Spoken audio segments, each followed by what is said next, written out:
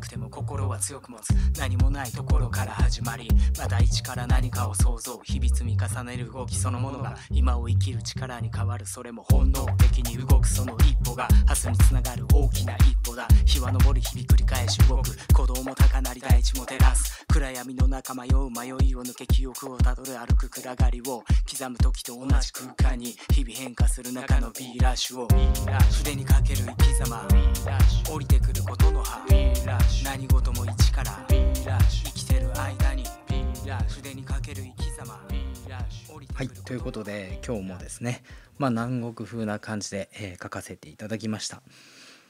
まあでもこの色が最近ちょっとまあブラシの中でブームで紫っぽい色。そしてまあちょっと濃いめのピンクっていうんですかね。そこの部分の、えー、グラデーション。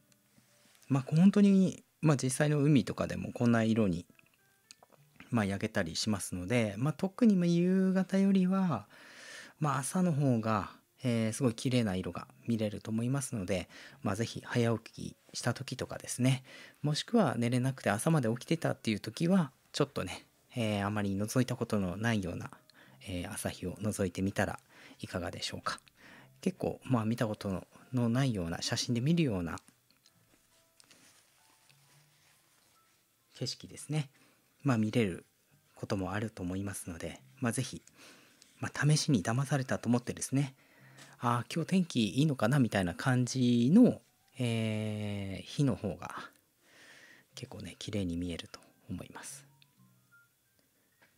確かそうだよな。まあ、まあ、曇りの時とかでも、なんか遠目が見れたり空気がね澄んでたら結構綺麗に見えると思いますね。まあ印象でいけばやっぱり北海道の方が空気がなんか綺麗のせい綺麗のせいか、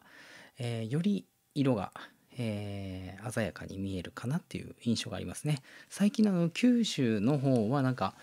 まあ僕の感覚ですけど昔ほどなんか住んでるっていう感じがなくてちょっとなんかなんかもやがかかったような天気が増えてる感じがしますね。たまに帰った時時とかですね。たまにまあ九州行った時とか思うんですけどすごいなんかもやがかかったような空気感があるなっていう印象を受けました。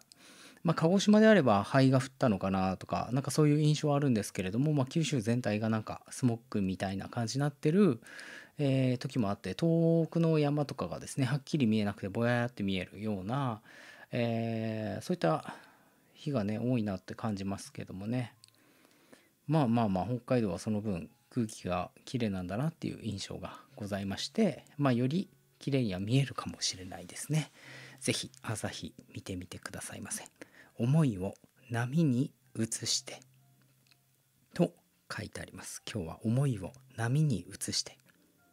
でございました。ということで今日も見ていただきましてありがとうございます。なかなか動かない自分を自分で動かすこと